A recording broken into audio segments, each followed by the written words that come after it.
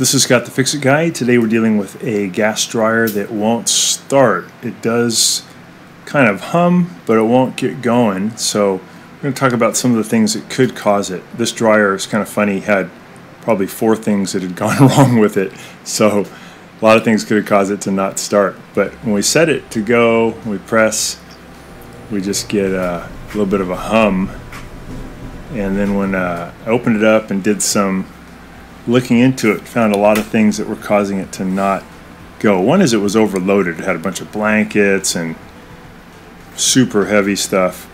So I'm pressing in on the lid switch here, and then I'm going to press the start button, and I want to see what kind of effect it has. I can see it move a little bit, like it's trying to do it, but the motor seems to be either overloaded or really dirty. So I got all the stuff out, and I found that there was some article of clothing or something caught between the tumbler and the back of the dryer. And this could be part of what was causing the problem because this creates more friction between those two surfaces. And that's kind of like a brake. It could slow down the tumbler and overload what the motor's doing.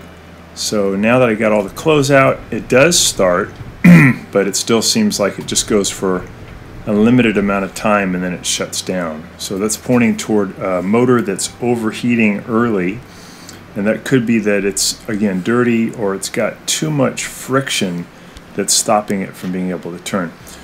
Also I noticed the vent tube back here was crushed so that's not a good sign.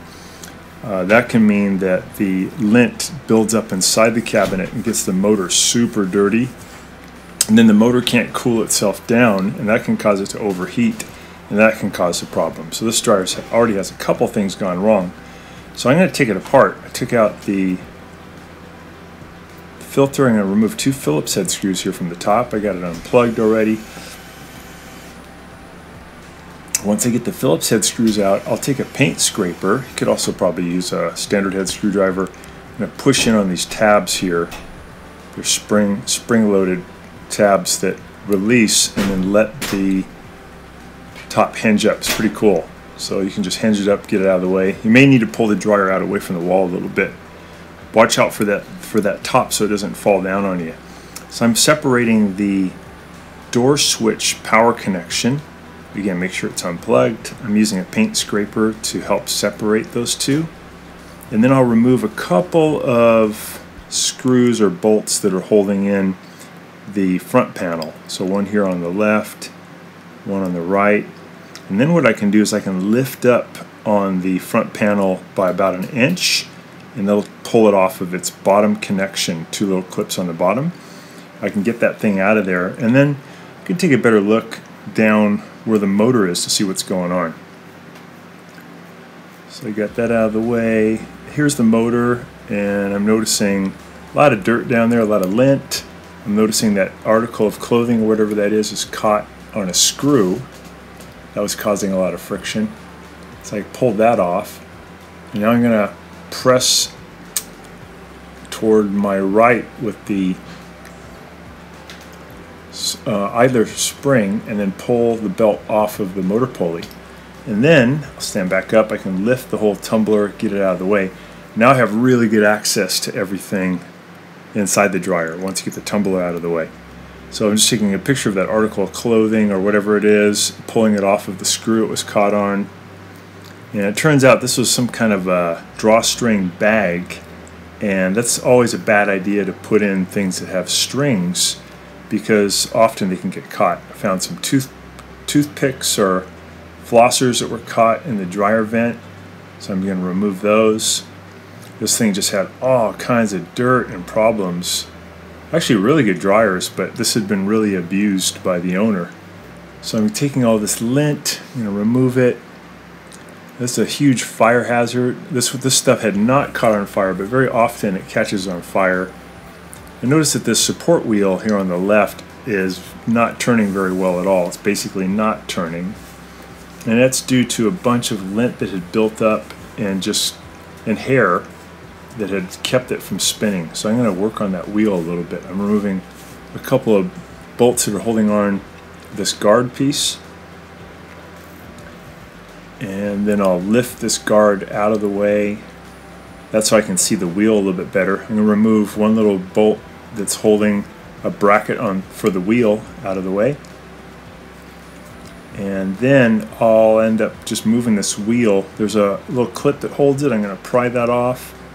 And then there's another little plastic uh, piece that's holding on the wheel. I pried that off with a small standard head screwdriver. And then you should be able to just pull the wheel right off. And you can get these wheels Amazon.com appliance parts stores are pretty cheap. So just spin it off. It's really hard to get off. And I noticed that there's a flat spot. So this wheel was not turning and that poor tumbler was just grinding against this wheel instead of instead of the wheel spinning. Again, creating way too much friction. So we had friction from that drawstring bag, we had friction from a wheel that wouldn't turn, and the motor's filthy dirty. Had lint all over it and all over the cooling portion of it near kind of near the back of the dryer or back of the motor. So I'm going to clean everything up. You can use a vacuum, works great. Sometimes you can use a like a brand new um, paintbrush works good. I'm just see these this orange thing is the cooling vanes. I'm to clean those all up, get all that lint out of there. I'm to use some electrical cleaner too to help clean up the motor. This is something you can get like at Home Depot. Hardware stores have this. O'Reilly's has it. And it's just called electrical cleaner. And you can spray it in, clean up everything. I took off the modular connector. Here's the stuff I use. I think it's really good, made by CRC. And I shook it up. I put in my little tube here to direct the flow. And I'm going to spray in here and just using air pressure and uh, electrical cleaner get all this lint and junk out of here so this motor can breathe so all the electrical connections are really good and this will give new life to this dryer this dryer was on its way out it just really needed to be maintained correctly if you went back forensically and said what's the main thing that caused this dryer to fail it was that crushed vent tube in the back that made the lint build up, choke the motor. It caused that wheel to freeze up, caused too much friction. But if you went back in time and, and here it's all clean now, we're going to put that wheel on.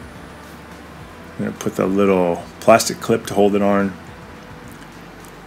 But if you went back in time and you could get rid of that crimped vent tube, I don't think any of this would have happened. So you're going to put the support back in. Put this little clip that goes in on the support on the shaft to hold it on. Then there's a screw that we add in to hold it down.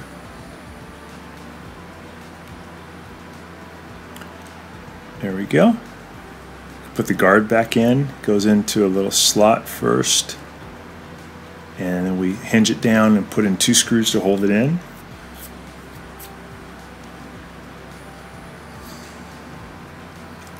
we put this whole thing back together. This dryer did great.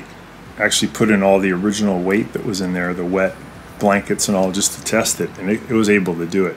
I don't advise putting in a lot of heavy wet blankets though. I think that's putting undue strain on the motor. If you fill your dryer tumbler about half full, that's good. If it's all the way full, that's too much weight. So I'm just cleaning all the lint off and the bearings on the motor are great. So when you spin it, it should be able to spin about three or four more times when you let go. So those bearings are doing great. If you spin it and you let go and it doesn't keep spinning, the bearings are probably on their way out, need a new motor. So I'm making sure this felt seal goes up against the back of the dryer to form a tight, a tight seal so the hot air doesn't escape and it was kind of messed up due to that article of clothing that had gotten stuck in there. So I got it back in position. I'm going to put the idler wheel back in. It has a couple of those slots it goes into.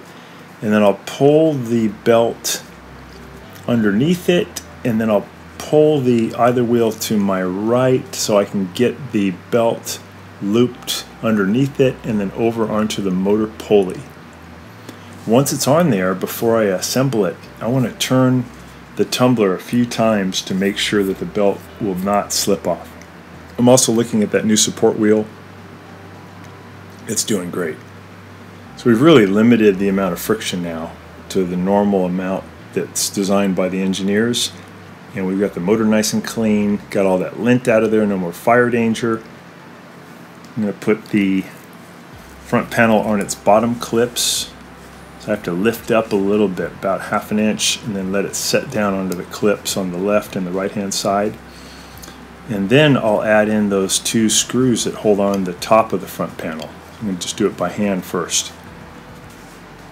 Kind of push this metal clip back into position and then put the screw back in. Go ahead and tighten that up. Yeah, this dryer is going to do fine now. Putting the door switch connection back. I'll hinge the top back down and then I'll add those two Phillips head screws in. Those are essentially holding on the top. And then I've got to treat the original cause, which is the vent tube. So I'm going to remove it. See how it's super crimped. I mean, we're only getting about 20%, 10 to 20% of airflow. We should get 100%. And I'm just going to bend it back. These, these are very pliable. Just reach in with your hand and bend it back so it's nice and open, nice and round again.